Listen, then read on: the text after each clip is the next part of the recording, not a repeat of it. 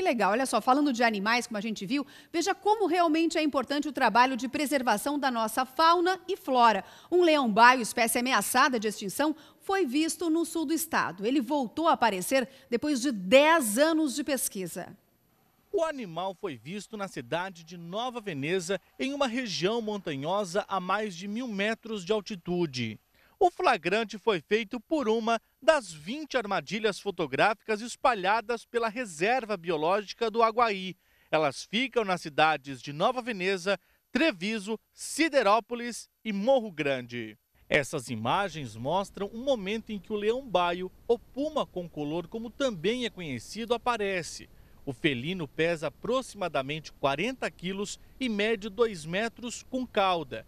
De acordo com a coordenadora do Instituto Felinos do Aguaí, o flagrante é raríssimo. Esse registro ele aponta né, a importância, a presença da espécie. A gente já sabia que ele existia, porque a gente já via avaliando isso através de vestígios, das pegadas, do, das fezes encontradas na floresta.